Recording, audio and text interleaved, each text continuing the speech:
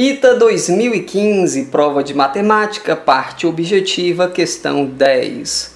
Os valores de x no intervalo de 0 até 2π que satisfazem a equação 2 seno de x menos cosseno de x igual a 1 são. Aí você tem os itens.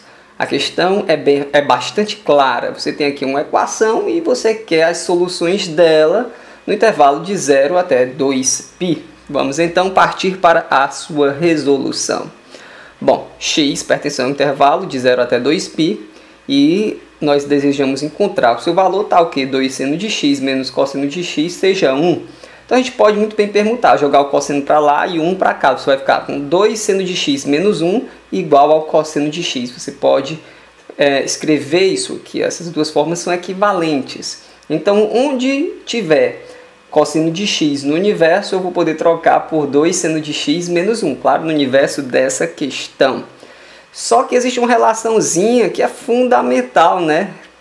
Relação trigonométrica fundamental, exatamente. O seno ao quadrado mais o cosseno ao quadrado de qualquer ângulo é sempre 1.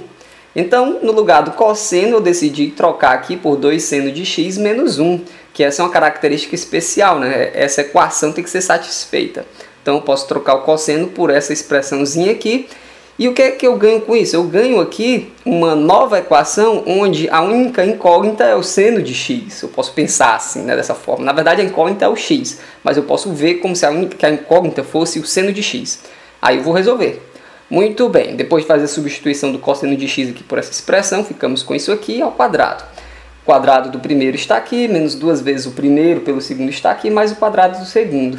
Como você tem um de um lado e do outro, né? esse 1 aqui é do início, porque o seno ao quadrado mais o cosseno ao quadrado é sempre 1. Então você pode muito bem cancelar, fica zero do lado direito. E do lado esquerdo você pode juntar esse seno ao quadrado com esses 4 seno ao quadrado aqui para ter 5 seno ao quadrado. E ainda tem menos 4 seno igual a zero. Essa aqui você pode entender como a equação do segundo grau em seno de x. Incompleta, né? falta o termo independente.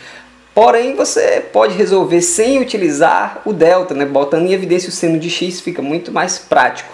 Então, daqui que se a gente colocou o seno de x em evidência, vem só 5 seno de x. E daqui, quando a gente colocou o seno de x em evidência, vem menos 4. E escrita assim, dessa forma fatorada, é ótimo, porque a multiplicação só dá zero quando pelo menos um dos seus fatores for zero. Então, existe a possibilidade do seno de x ser zero e a possibilidade dessa expressão aqui ser zero e somente essas possibilidades. No caso do seno de x ser zero, você volta lá para o início. Se o seno for zero, ó, então você vai ter 2 vezes 0 menos 1. Então vai ficar só menos 1 mesmo. Então no caso do seno de x ser zero, o cosseno de x é menos 1. O que vai indicar para a gente, no intervalo de 0 até 2π, que o x é π. Porque uh, π corresponde a 180 graus, tem seno igual a zero e cosseno igual a menos 1. Então essa é uma solução. A outra vai ser nessa ocasião aqui, quando você pode passar o menos 4 para lá, vai mais 4, passa o 5 dividindo, então o seno de x vai ser 4 quintos. Para descobrir o cosseno de x, você pode voltar lá no início, ó, trocar o seno, que foi o que eu fiz bem aqui, ó, por 4 quintos, né? Já que a gente descobriu que o seno de x deveria ser 4 quintos, a gente troca aqui.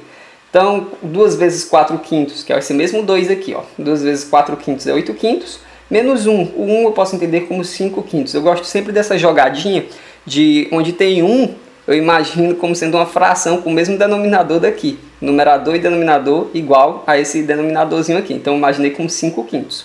8 quintos menos 5 quintos, 3 quintos. Então, o cosseno de x é igual a 3 quintos. Isso nos permite afirmar que x é o arco cujo cosseno é 3 quintos. Aí alguém pergunta, professor, daqui você não poderia ter dito que x é o arco cujo seno é 4 quintos? Poderia. Porém, ah, é melhor trabalhar com o cosseno, já que a resposta foi dada em arco cosseno. Então, temos lá x igual a π ou x igual a arco cujo cosseno é 3 quintos. Item A. x igual a π, o x é o arco cujo cosseno é 3 quintos. Você tem aqui ó, arco cujo seno é 3 quintos. Cuidado, não é o seno, né? O seno é 4 quintos. O arco cujo cosseno é 3 quintos aqui é o nosso arco. Então a gente fica por aqui. Eu espero que vocês tenham entendido esse vídeo. Eu espero que a resolução tenha ficado clara para vocês.